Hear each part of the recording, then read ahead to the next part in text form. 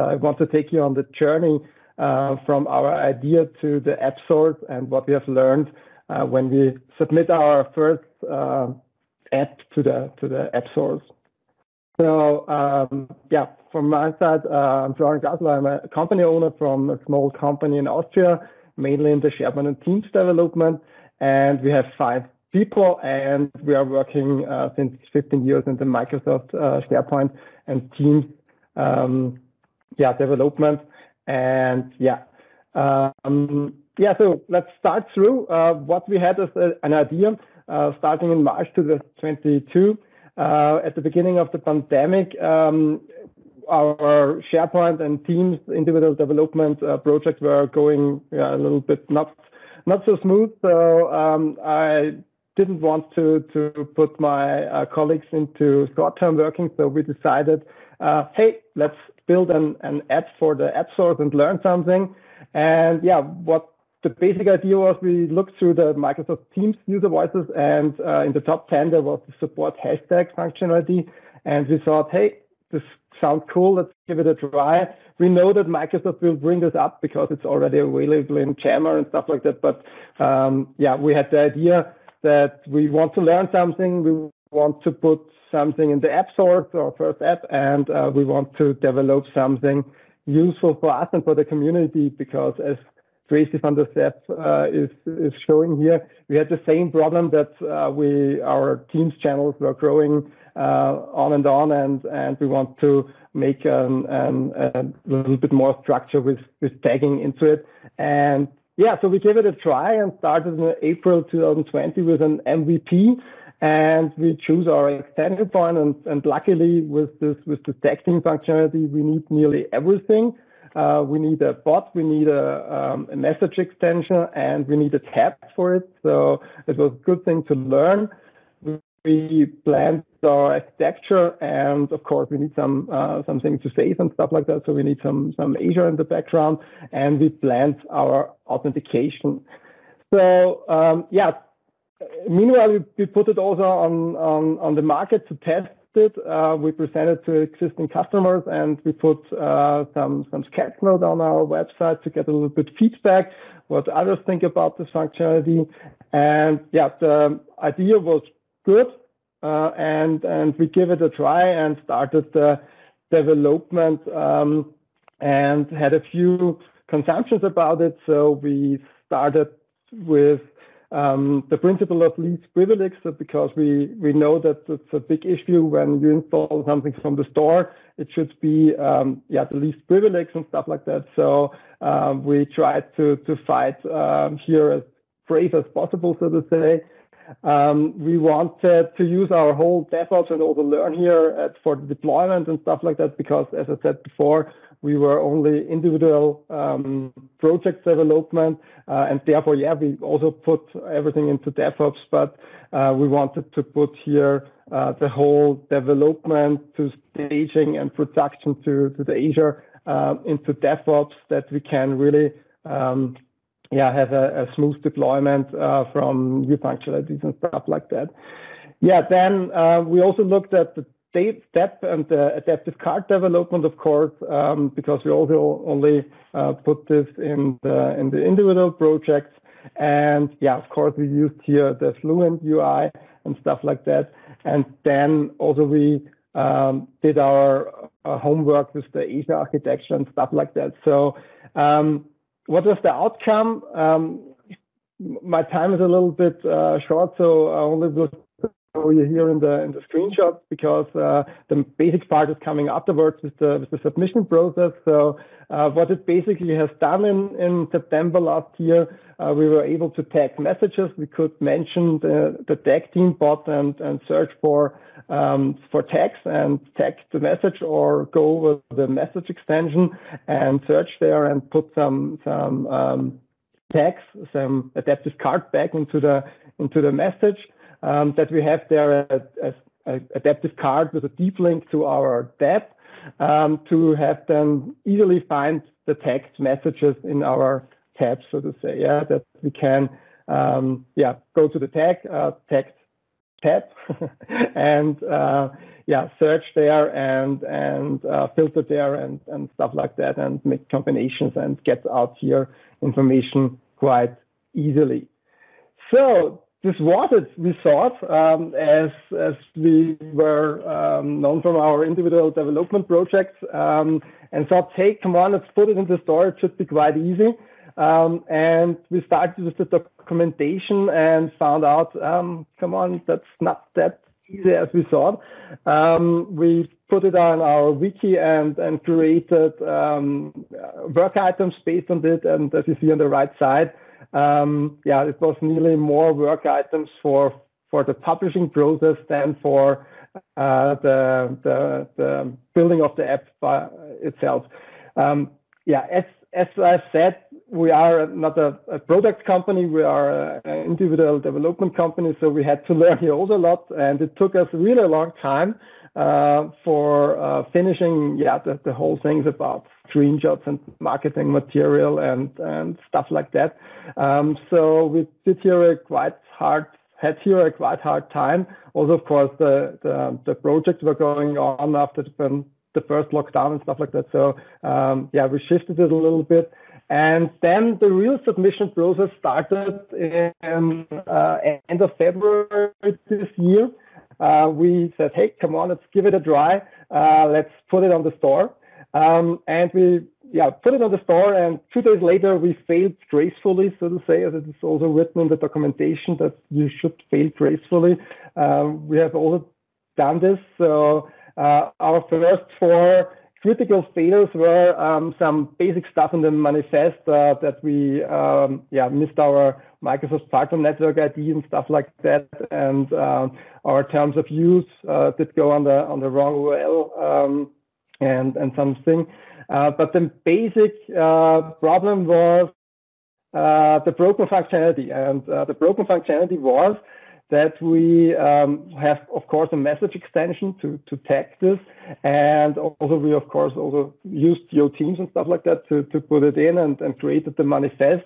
Um, but we missed one thing that we have, of course, um, and compose extension and, and another one, uh, the command box. And we also, yeah, uh, put in the in the manifest the command box, uh, unfortunately. And Microsoft, of course, find it very uh, fast. And um, yeah, as the command box has um, a complete different context of, of the teams, yeah, we were not able to show our settings dialog because yeah, it doesn't make sense to to to use the tagging functionality in the command box because we only could generate an, an card and or a deep link to a tab, but yeah, that, that makes not really a sense here in this case.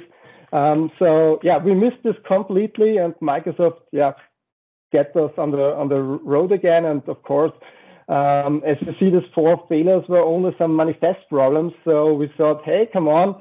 Um, few hours later, we tried it again, yeah, and and put it on the on the store again. And as you see, um, yeah, also three days later, we got the next rejection from Microsoft. Um, also again with four failures, uh, also something in the in the manifest, but also again some broken functionality. Um, wonderful. Um, and yeah, what problem was here? Of course, uh, Microsoft tried it out everywhere, yeah, and uh, we didn't, yeah, thought about this, uh, yeah, honestly, because uh, for us, was it, it was clear we have only Graph API functionality to, to search messages in Teams um, channels and stuff like that, but not in private channels or in private chats or, or group chats. So it was clear that our functionality, our message extension, is not useful in a in a um, in a private channel. But yeah, um, it is of course also there, and Microsoft tried it out, and we failed also gracefully because we showed some some menu that it's not working in a private channel. But what we also forget again was the settings dialog, and of course, as you see, also the settings dialog displayed blank um, because yeah, um, the context is different, and we have no uh, context there for showing the um, tabs or the text to create for this uh, in in in this case.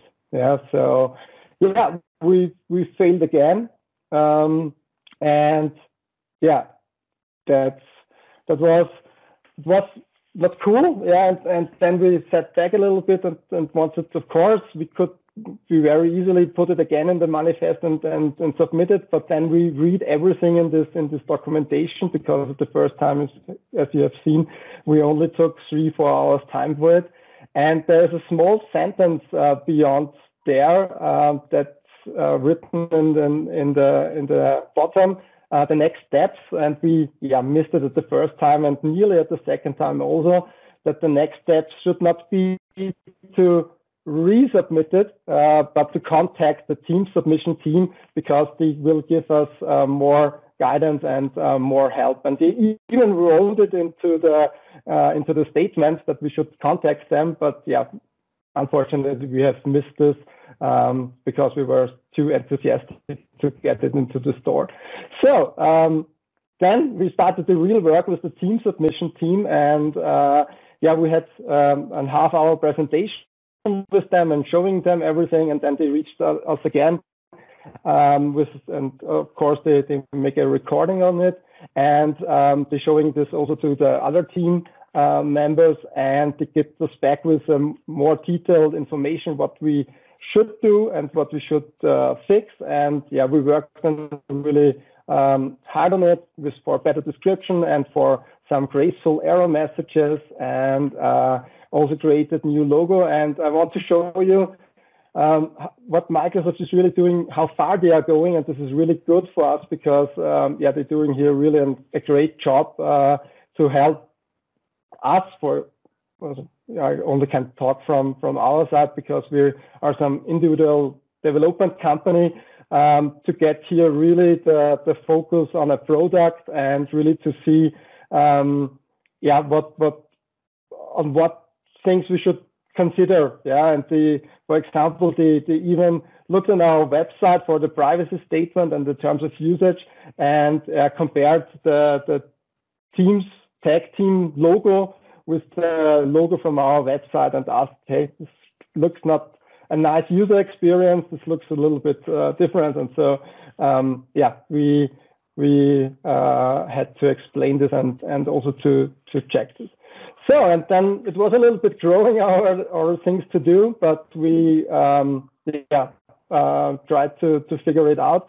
And the next step was uh, the whole testing of the whole um, mobile functionality because mobile first, of course. We, we tried this out also with some emulators and stuff like that. Um, but yeah, um, Microsoft also found two, two issues um, on Android and, and iOS devices. And happily, um, we could also help Microsoft to find a bug or to, to, to fix something on the on the Android device because we have some deep linking from from our uh, message um, from our message card to to the tab, and this was not working in Android. And um, yeah, we uh, found out that this is really some some issue on the on the mobile platform, and Microsoft already uh, fix this, and so we could move on. And yeah, happily, um, we made it to the store um, around two months two months later.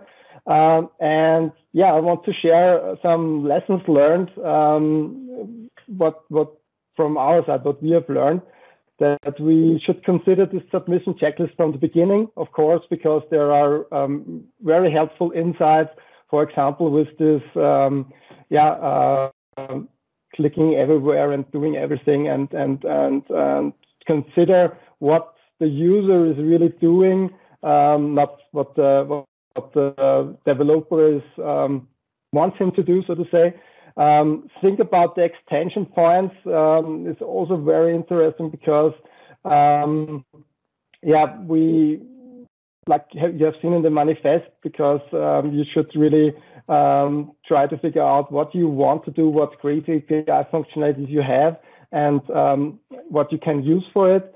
Um, we found out at the end uh, because we are now two months nearly on the on the store and have around 200 tenants trying it out. Um, that we should have done more A and B tests uh, on the market and and um, try to to yeah make a few functionalities a little bit different and stuff like that. Um, that we also should buy Android and iPhone uh, devices for real testing on the on the mobile because this could would have um, yeah do some some uh, less work for us. Um, that we of course uh, should calculate our Azure costs because um, as test um, staging and and uh, production environment is costing, of course, something. And what we have missed at the beginning that the, the application insights is a really um, powerful tool. Um, but at the first submission, we we basically missed the uh, the client uh, functionalities. Uh, so we yeah have included this now. Um, and yeah, we first were really afraid because we had a lot of, of of, errors in it in the in the Azure application insights. But we found that out that this is coming from some robots um, which are using to try to to sign into WordPress and stuff like that. So um, yeah, don't don't be afraid of these errors. Uh, sometimes they are not that bad. Yeah. Yeah, and of course, as I already talked about, is after the source publishing the work is not over uh, especially um, to consider what, what people are really using or not uh, with the application insights. It's really helpful. And so, yeah, currently we are thinking what to go on. As we said, we this is free, and we we wanted to put this for the for the community. Um, yeah, we are considering how to that we maybe also put it on GitHub and stuff like that. Um, or yeah, also um, doing a little bit uh, rework on it. Um, and yeah, so if you have some feedback for us, uh, please feel free. And and um, also, like I said, it's it's it's free of use, and and we I think we will really will publish it on the on the GitHub for open source. So um, hopefully, I didn't took too much time. And excellent stuff, Florian. Yeah. You. Very, very cool. Thank you. Uh, as I mentioned in the chat, this is invaluable information. No doubt this is valuable for everyone that's looking to get into this space, and uh, you provided that exposure. So thank you.